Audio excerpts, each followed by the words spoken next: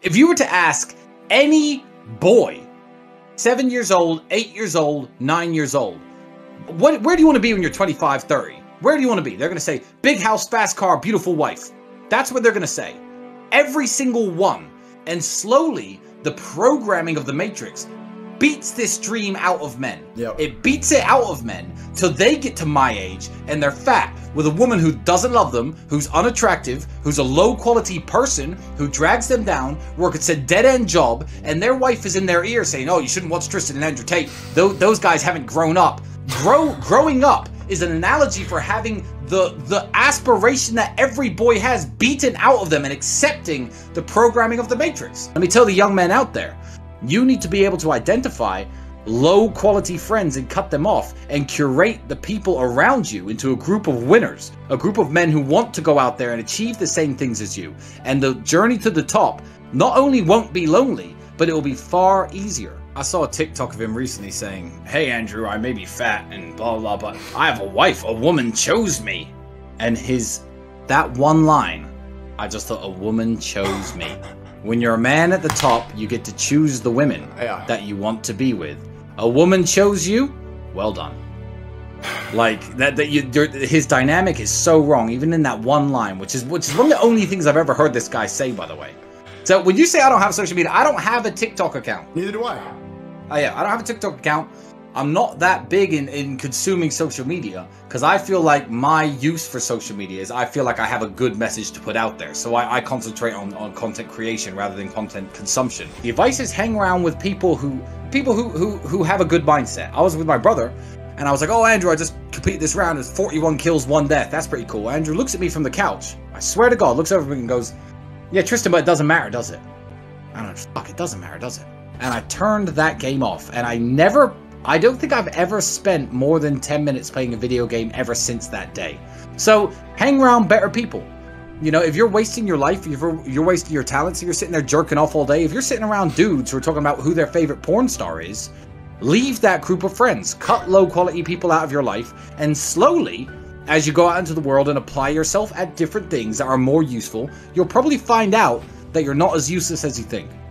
Or you might be, in which case, you know, we all need someone to flip the burgers and wash the cars, so I'll tip you heavily, my friend, don't worry. Guys, open your eyes. When I say, uh, you know, eh, when I say don't be a brokey, learn how to make some money, level up, you know, it's not about money necessarily. It's about, I believe, if you're a young man in this world and you don't have your financial situation together and you're not part of the, the top 1%, then you're not going to attract the top 1% women. You're not going to meet the women with low body counts who want to love you and start a family with you. If you stay a low quality man, you're going to meet a low quality woman, start a low quality family, and have a low quality life. But I say it in an abrasive way, and people will cut clips of me or my brother saying, "Oh, you know, don't be broke, make some more money. You know, you don't want to be a broke, you don't want to be a loser." But I'm not trying to upset anyone. I'm just trying to show people the way that I think is is to a better life and a more productive, more healthy, more happy life. The media, I think, is so spun spun so negatively against me and Andrew.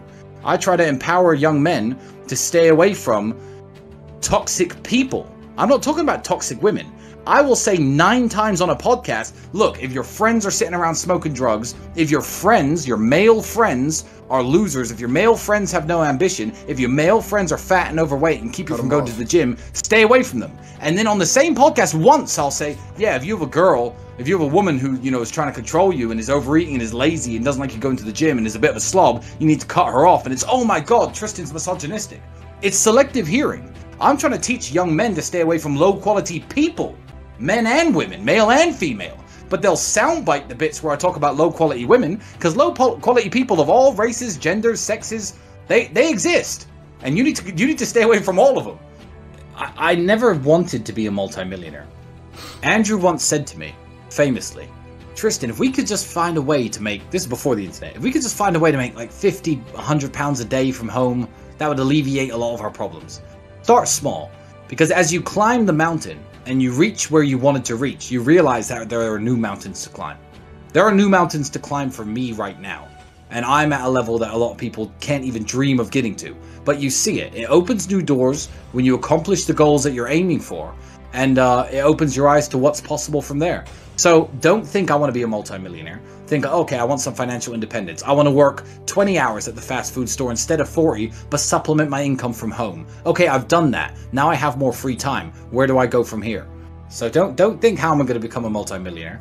Think of your short-term goals. Make sure your mother works less, buy yourself some nicer clothes, you know, live in a better apartment, and think of how you can make those things happen. And as you go up in value as a man, you'll learn a lot about yourself, and from then you could tackle bigger goals. When people say things like money doesn't buy happiness, I would say yes, it actually does if you know what to buy. Mm. Lamborghinis are cool, Bugattis are cool, but you know, calling your mother and say, "Hey, mom, what you're working that shitty job in that kitchen, washing those dishes. You know what? You never have to work again. Mm. That that's happiness. Yeah, yeah. You know? yeah, and yeah. no amount of you know, being broke with good feelings, goodwill, or pray is going to make that happen. It takes money uh-huh. to make things like that happen. That's a so good. I think it's about you know have to know what to you have to know what to buy, and you have to know what's really important in the world. Uh, when I needed this surgery on my shoulder, I called the same surgeon who did Conor McGregor's leg and Roger Federer's elbow. And oh, I paid forty five thousand dollars to go get the procedure done. You know, that's happiness. I don't want some fucking NHS surgeon fucking around with my arm. I only got, only got two arms. I can't afford to fuck one up. So yeah, I mean, it depends. If you know what to buy, if you know what to spend it on. But uh, chasing material possessions is uh, is yeah, it's it's fun, but it's not it's not necessarily happiness. But I was always a very happy, content individual. So now I'm happy and content and rich as fuck. So it's great. Look, genetics, intellect, wit. I mean, there are various things that we're all born with. And when you get to the age of 12, 13, you can see who's becoming a man with physicality, who's becoming a man who's smart. Yes, some people have further to go than other people. I know people who are genetically blessed, genetically blessed, guys who never ever train and they've got iron six packs and big arms all the time. That guy obviously does not have to try as hard as the skinny little dork to be physically attractive to women. He has to try probably not very hard at all. Maybe he's six foot four, like me. Well, let me tell you something. Everybody can get there. If you're dumb, you can get smarter. If you are weak, you can get stronger. It's just some people are so far gone in terms of being a strong guy, they're 2 out of 10. Now, instead of realizing that they need to work in the gym three hours a day, every day for five years to be a physically imposing man, they think, oh, well, I haven't got the genetics, I give up. So, yeah, you can actually. You can actually turn a geek into a stud. If someone's a geek, it takes a lot more work than turning a guy who's not quite a stud into a stud. But you only get one body and you only get one life, so you need to get up, stand in front of the mirror, take your shirt off, look at yourself, and think, you know, how far do I have to go?